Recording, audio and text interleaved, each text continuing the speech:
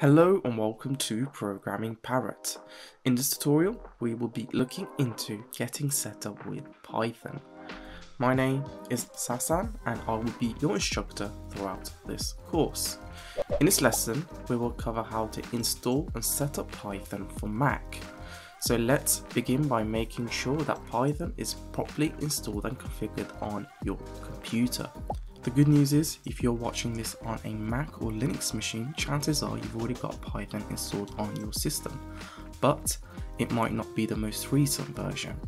The Mac ships with Python as do many versions of Linux, so you might already be good to go, but you can make sure that you have the right version by following along with me. So here on my machine I've opened a terminal window and if you're on a Mac or Linux computer, then just use the terminal program that came with your system. I'm going to type Python 3 and hit enter.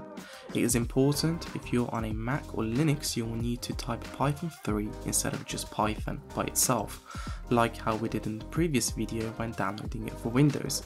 This is because some systems come with both older versions of Python 2 as well as newer versions of Python 3 installed, so ensure to type Python 3 when checking what version of Python you have installed on your machine. As you can see, I'm using Python 3.8 on my computer.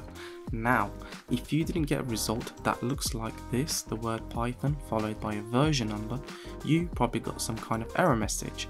Or maybe you have a version number that's older than this, and that means that Python is not either installed on your computer or you need to get the latest version.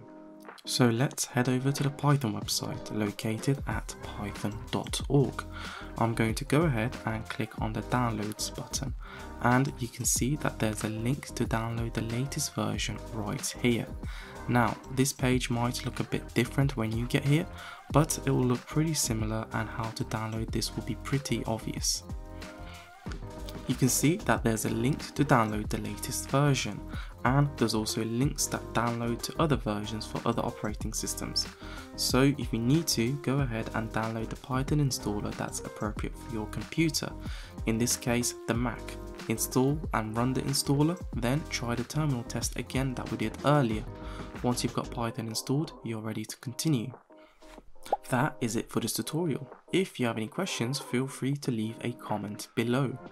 Be sure to leave a like and comment, share and subscribe if you found this tutorial useful. Thank you for watching.